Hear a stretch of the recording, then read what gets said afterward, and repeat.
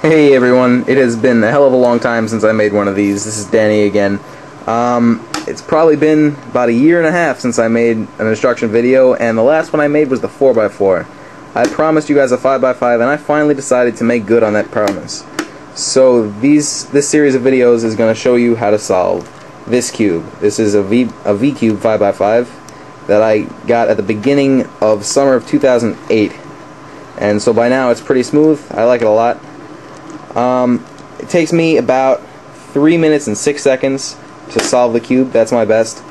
Uh, using the method that I'm going to show you. So it, it's possible to get decent. That's not an amazing time, but it's good for what I want to do. Alright, so I guess let's get started. Uh, while I'm mixing it up, I'd like to give a shout out to Reisha because she asked me to.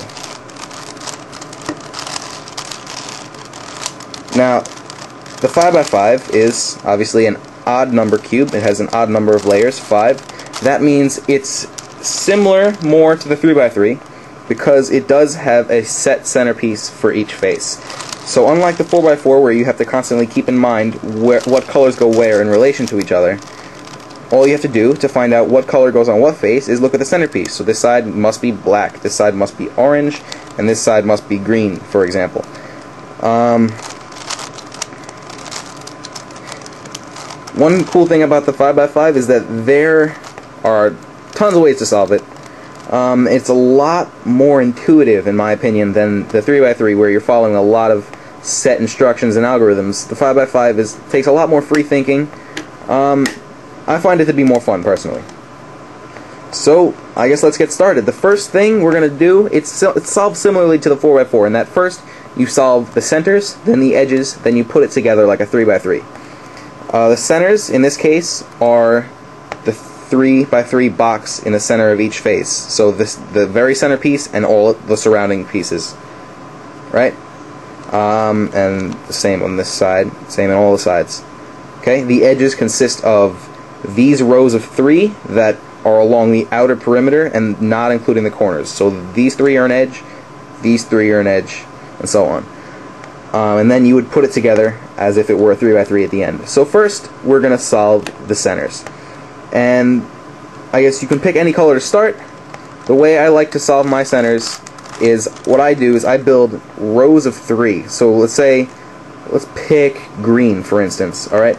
So what I like to do is build rows of three. So I'll put a row of three green here, a row of three green here, and a row of three green here. That kind of breaks it down so that you can solve all nine pieces in sets of three instead of one at a time, which can be tedious and it's a little more difficult, I think, sometimes. So, the first one is pretty easy because you have all six free space, free sides to work on. You don't have to worry about messing anything up. So, if you have any experience with a Rubik's Cube, you should be able to at least be able to build a row of three, something like this, right? So then what I would do is I would bring it up without worrying about anything else up to the green center. Right? So now we have these three and the green center right here. Not worrying about anything else yet. Then I like to work on the other side. I leave the middle row for last usually. And so you can do any moves you like as long as you don't do moves that disturb the top side. And if you do, there's ways to fix it. So here's a green, here's a green. So I'll connect those in a partial line so far, and now I need one here. And there's one that's part of that that kind of go in that spot.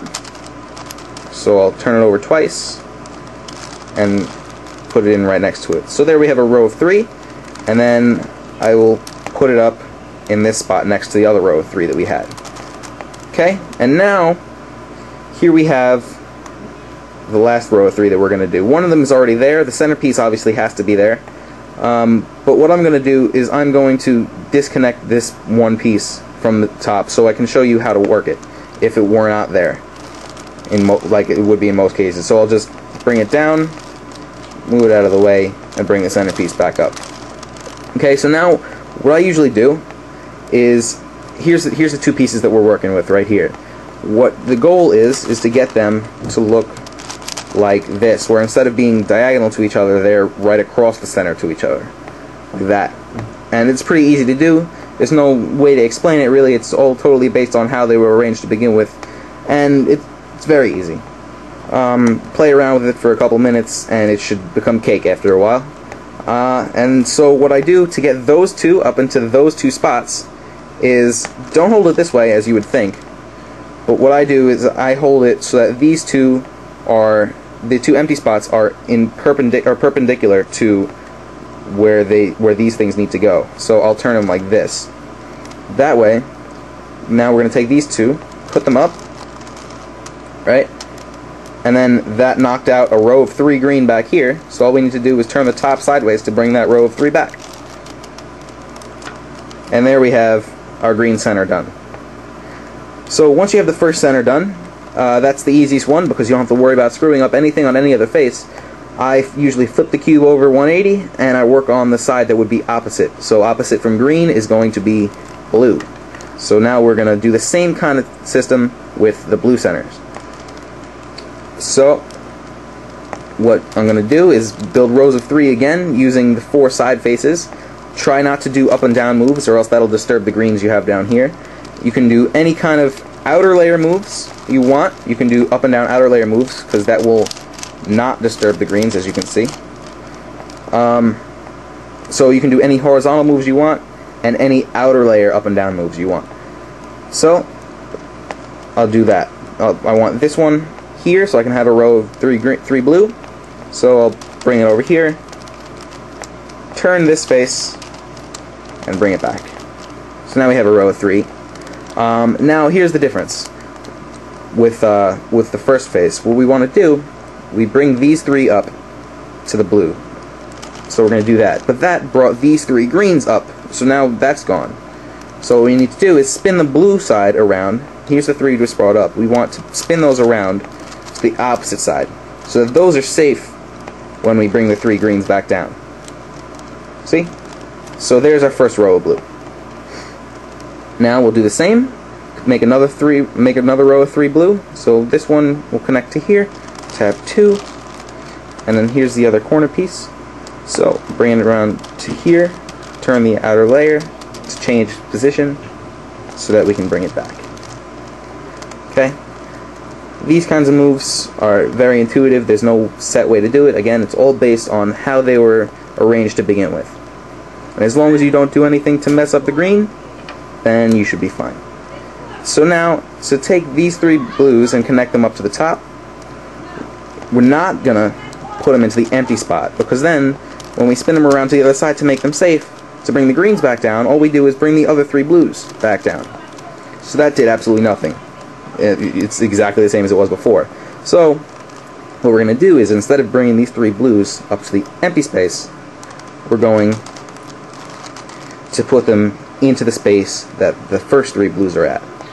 So watch what happens. We bring them up, so that knocked out the three blues that were here to back here. Alright, so now what we're going to do is the same, bring these three back to the, around to the other side so we can fix the green, and when we fix the green it also brings the original other three blues back to the top.